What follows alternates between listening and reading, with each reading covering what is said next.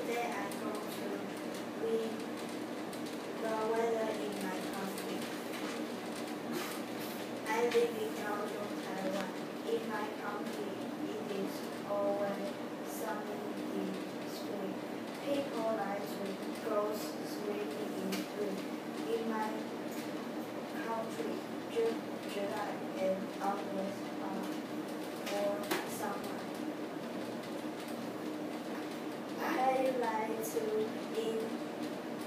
spring, during summer vacation, or for autumn. I like to visit my cousin in winter. We need to uh, cold to keep us warm. Instead, we like to have hot food in the mountain. It is very